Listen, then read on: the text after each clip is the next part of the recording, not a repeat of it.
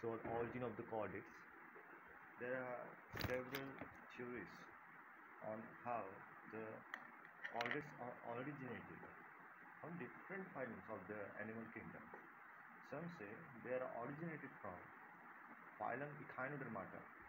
Some say they are originated from hemichordates or urochordates or cephalochordates. And some believe they are originated from some kind of specialized larva which undergo pseudometamorphosis. Let's go into the text. So we can see here there has been considerable controversy concerning the period and the mode of the origin of the chordates. बहुत सारे controversies हैं कि कौन से वक्त किस समय में कॉर्डेट्स का ओरिजिन हुआ और किस तरह से उनका ओरिजिन ओरिजिनेशन हुआ। किस समय हुआ? And how the mode and the time period they are originated lower chordates forms have been discover in Cambrian strata lower chordates को कैम्ब्रियम के समय में देखा गया। आई थिंक जुरासिक के बाद, या बहुत पहले Cambrian I have no idea where the Cambrian strata is. Okay, indisputable vertebrates realize fish scales are known for ordovician deposit more than 400 million year old. Okay it is a very good point. Most primitive type of chordate evidence 400 million year ago fish scales are found which is 400 ordovician period okay ordovician deposits 400 million year ago. And there is cambrium strata. They are not very important. Now we come to the important point. No general agreement has been reached, but today more and more people accept Garstrang's suggestion.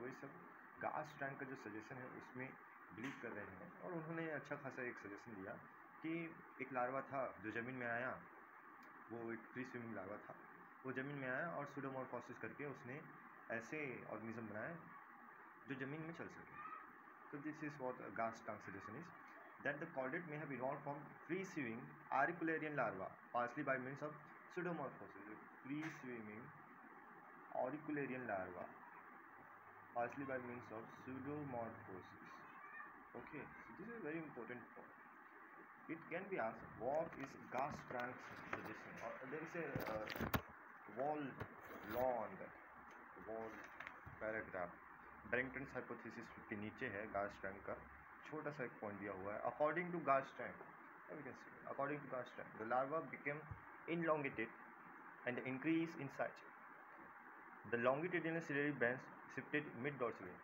जो longitudinal ciliary bands थे, जो लंबे लंबे वाले ciliary bands थे, वो mid dorsally यानी बीच में आ गए और पीछे की ओर आ गए and change to hollow nerve cord the adoral cilia developed into endostyle and a muscle fiber elongated in tail.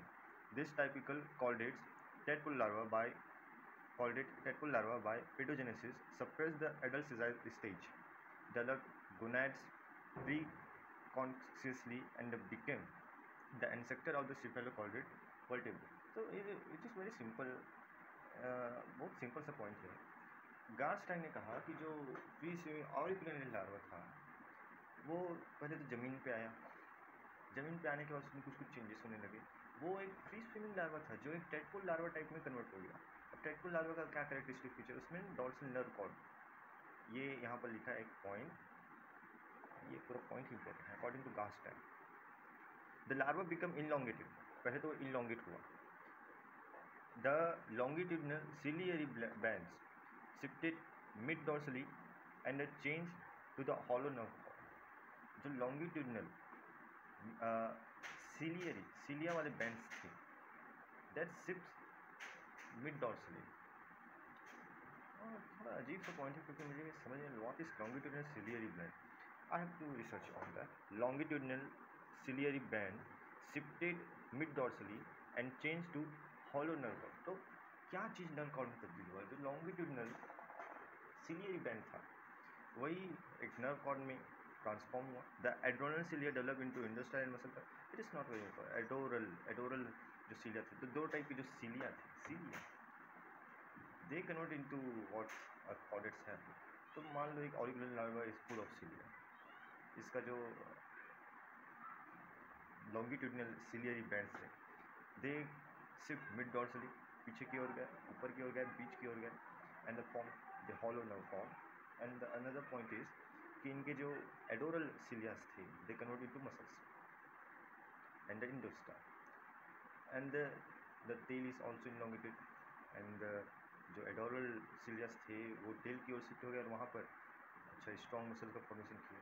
This typical chordates tadpole larva by paedogenesis and paedogenesis में क्या होगा? पेडोजेनेसिस में जो एडल्ट फॉर्म था sessile non motile उसको paedogenesis से सरपास किया गया to form a motile and motile adult developed gonads gonads का डेवलपमेंट हुआ, पेडोजेनेसिस। पेडोजेनेसिस दो चीज़ हुआ। एक, जो सिजाइल थे, उनको मोटाइल बनाया गया। दूसरा, गोनेट्स का फॉर्मेशन हुआ, सेक्स ऑर्गन्स का फॉर्मेशन हुआ, जिससे वो रिप्रोड्यूस कर सके और नए नए वेरिएशन कर सके। For evolution in land, okay? पहले तो पानी में रहता था, ज़मीन में आ गए so this is about gas time suggestion history from where we started. Clues to the origin of the vertebrates have been sought by men ever since the dawn, uh, dawn of the evolutionary uh, thought.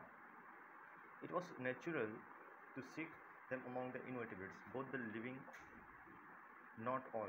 Diploblastic and triploblastic invertebrates are so spliced as to the general form, and especially in regard to the situation and structure of their individual organ system, that it is difficult or impossible to imagine them as a to the the तो point ये है कि जो non chordates हैं, उनको हम chordates के एक इंसेक्टर के रूप में देख नहीं सकते इतनी आसानी से। बिकॉज़ द यहाँ पर एक पॉइंट है the diploblastic and triploblastic invertebrates diploblastic and triploblastic invertebrates are so specialised as to, in general form, and especially in regard to the situation in structure of the individual organ system that तो वो अपने आप में इतने ज़बरदस्त तरीके से specialised हैं कि उन्हें हम इमेजिन नहीं कर सकते कि उन, उनसे कॉटेट्स का ओरिजिनेशन होगा एग्ज़ाम्पल के लिए cockroach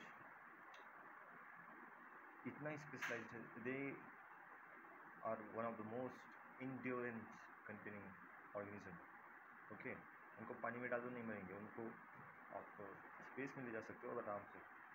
But they won't die very easily तो जब वो अपने आप में इतने स्पेशलाइज हैं तो कॉलेज में एवोल्यूशन होने की ज़रूरत ही क्या है? ना? ये भी पॉइंट है। So it is about origin of the chordates part one